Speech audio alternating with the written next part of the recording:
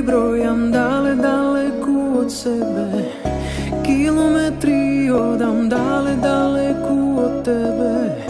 Далеку од дома Далеку од се што имам Од се што имам. Километри е насловот на најновата песна на еден од нашите најдобри машки изведувачи Владко Лозановски Лозано, имено како великденски подарок кој со сигурност допре до емоциите на многумина. Dormir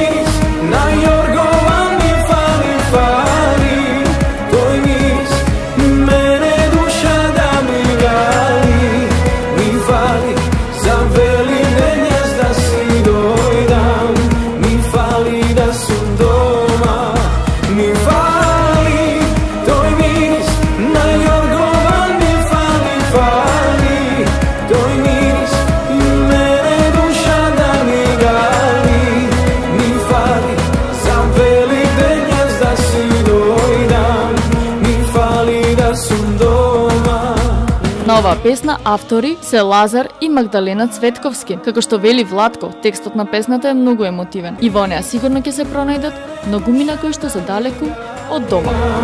Ми фали да сум дома